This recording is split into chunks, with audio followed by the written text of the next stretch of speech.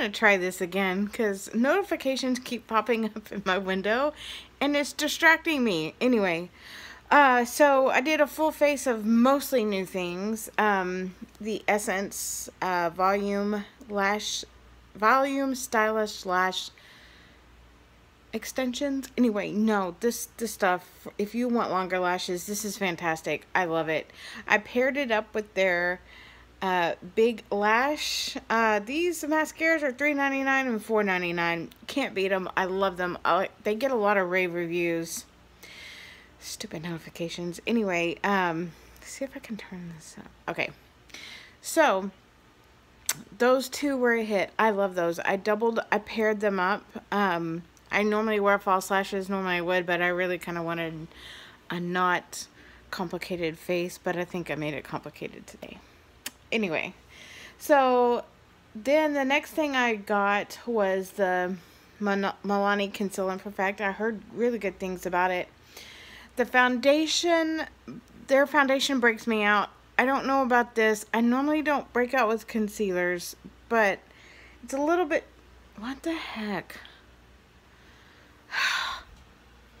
um, you know what? I don't know what, okay, so staying on focus with the concealer. I'm going to work with it some more because most concealers do what it's doing to me anyway, so I'm not really all that surprised. So I'm going to keep, and then I set it with a little bit of this pink uh, All About Matte Silky uh, fixing, like, fixing powder. So, but it helps brighten my under eye and I did a light, light, light dusting on top of it. Um, but I think I just like when I went in with my foundation, I think I just need to do my concealer last and then my foundation first. And moving on to the foundation, I'm going to keep it and keep working with it. The foundation, I did the Flower Beauty Light Illusion foundation. First impressions is a no. I'm going to keep working on it. But I also got this Hard Candy Hydrating Primer 2 3-in-1. It moisturizes, primes, and perfects. I hate dimethicone, but I'm finding it in everything. I hate it. So I thought maybe it was just me. So I got the, the primer fill. It's infused with coconut water also, which I'm, uh, I don't know how this is going to do because coconut anything usually breaks out my face like just a little bit.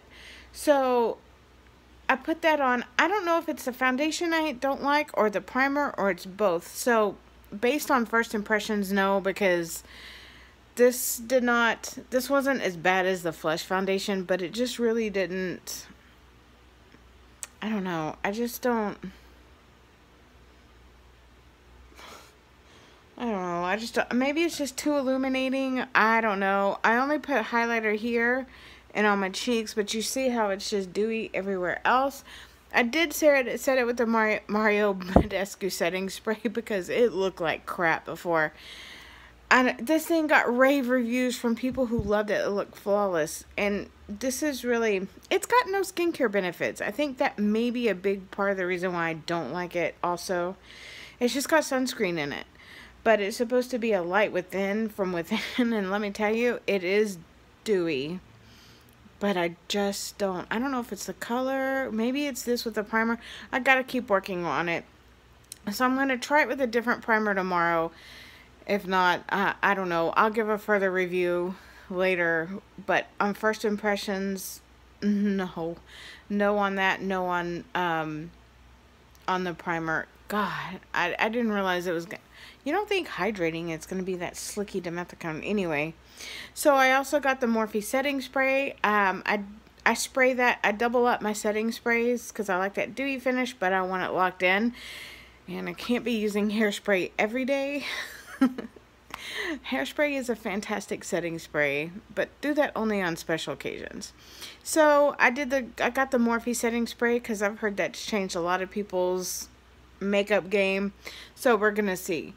But basically my first impressions anything, the only thing that was a success was really like just I do like that powder and the mascaras. Other than that, I'm like no, but I'm gonna keep working with it like I did that flush.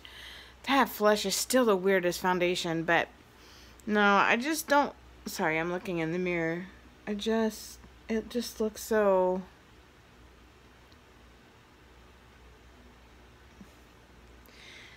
Yeah, I don't know how to explain it. And the part under my eyes, that I don't like is not where I put concealer. So it's not the concealer. It's got to be where that foundation stuck. And it didn't blend out very well. So, but I also noticed that when I added more to certain areas, I use my fingers. This may be a foundation that works better with the fingers than it does with a sponge or brush. Got here. Sorry. Like I said, I'm going to keep trying. Anyway, I just want to let you guys know what I've tried and what I like. Um, I'm going to take some other stuff back. I did find that Smashbox and I put a little tester. That new Smashbox is pretty much, you can do a tattoo cover up with that. It's so little and it goes a long way. So I do really want to try that too. And then I've heard the Anastasia Beverly Hills setting powder is really nice. But then I've already got more powder than I need right now. I don't know why I'm going down with this. I'll show you everything. Anyway, um, oh, that's it. I'm going to finish getting ready for work because oh, I got an hour and a half. I did get up really early for this because I was kind of excited and then end up totally, utterly disappointed.